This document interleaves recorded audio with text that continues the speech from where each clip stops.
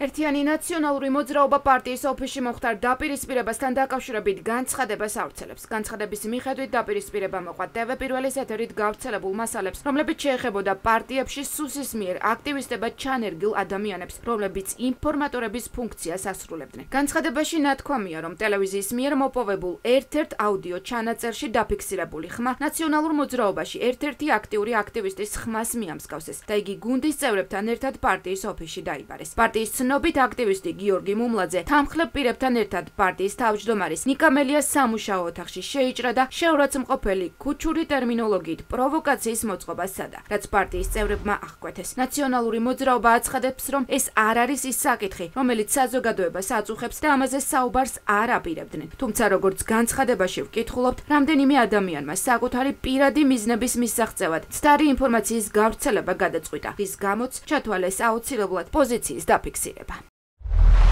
შედგა საუბარი პარტიის გენერალურ დივანსა და იმ ადამიანებს შორის ვისთან მიმართებაშიც კითხვები არსებობდა. საუბრის შემდეგ საკითხი ამოიწურა და კითხვის ნიშნები მოიხსნა. მოგვიანებით ამ პირების ნაწილის სურვილით პარტიის თავმჯდომარე საკუთარ სამუშაო ოთახში მშვიდ ვითარებაში ხვდებოდა ჯგუფის რამდენიმე წარმომადგენელს და დროსაც იქ შეიჭრა გიორგი მუმლაძე თანხლებ პირებთან ერთად. მან შეურაცხმყოფელი ქუჩური ტერმინოლოგიით სცადა პროვოკაციის მოწყობა. ბუნებრივია პარტიაში მყოფმა პარტიის წევრებმა აღკვეთეს მათი მცდელობა და ეს ადამიანები ოფისიდან გაყვანილ იქნენ. უფრო მეტიც რამდენიმე დღის შემდეგ, როდესაც ნიკა მელია საზოგადოებრივი მაუწყებლის პოლიტიკურ გადაცემაში პირდაპირ ეთერში პასუხობდა ჟურნალისტის კითხვებს, გიორგი მუმლაძე ჯგუფთან ერთად პროვოკაციის მოწყობის მიზნით განზრახ მივიდა ტელევიზიასთან და სიტყვიერი შეურაცხყოფა მიაყენა ნიკა მელიას მძღოლს. საზოგადოებრივი მაუწყებლის ცენტრალურ შესასვლელში მყოფი მაუწყებლის დაცვის პოლიციის თანამშრომლების თანდასწრებით.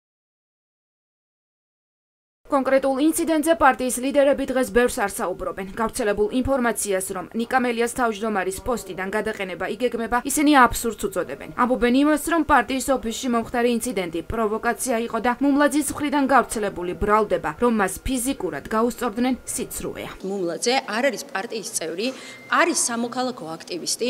ბატონი მუმლაძე ბოლო 2 წელი არის გამოჩნდა ესე აქტიურად და ჩვენ 10 წელია პარტიის წევრებს ამ ბრძოლაში გვაქვს სისხლი ჩანთხეული და ეს პარტია გვაქვს მოტანილი აქამდე და ჩემთვის მიუღებელია აბსოლუტურად რომ პარტიის თავმჯდომარის კრიტიკა ხდებოდეს ამ ფორმით კიდევ ერთხელ ვამბობ, მით უმეტეს ადამიანებისგან, რომლებიც არ არიან პარტიის წევრები. შიდა დაპირისპირება იქნება პოლიცაბჭოში რო იყოს ეს ამბავი. შიდა დაპირისპირება იქნება რაიონული ორგანიზაცია, რაიონულ ორგანიზაციებში. მე მგონი ნაციონალურ მოძრაობის განცხადებაში საკმაოდ დასაბუთებულად არის აღწერილი ის, რაც მოხდა პარტიაში და რა რეაგირებაც მოყვა პარტიის მხრიდან. ფიზიკურ დაპირისპირებას ადგილი არ ქონია, შეიძლება ძალის გამოყენებით დაცვამ დაატოვებინა ცალკეულ აქტივისტს, რომელიც ექსპრესიულად გამოხატა თავის მოსაზრებებს და არაეთიკურად. შესაბამისად, ეს ინციდენტი პარტია ამოწურული არის, პარტიამ ამაზე განცხადება გააკეთა და ყველა განსხვავებული აზრის მათ შორის მქონე პარტიის წევრებსაც მოუწოდა რომ შევინარჩუნოთ ერთობა იმისათვის რომ თავარი პრობლემა ამ ქვეყნის ბიზნესია ევანშვილი ერთობლივად დავამარცხოთ. ვერ გაურკვევიათ ვინ ვინისკენ არის,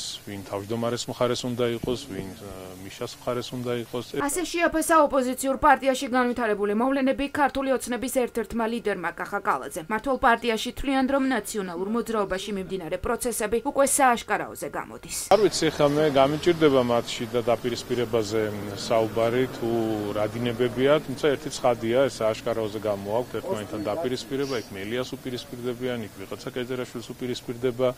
აა ნუ ეს ყველაფერი ცხადია და ჩანს, თუმცა ეს მათი პარტიული საქმეებია და თვითონ ალბათ გაარკვევენ ურთიერთობებს. ვერ გაურკვევიათ ვინ ვინისკენ არის, ვინ თავმჯდომარეს მხარეს უნდა იყოს, ვინ მიშას მხარეს უნდა იყოს. ეს არის მათი შიდა პარტიული დაპირისპირება. Thank you.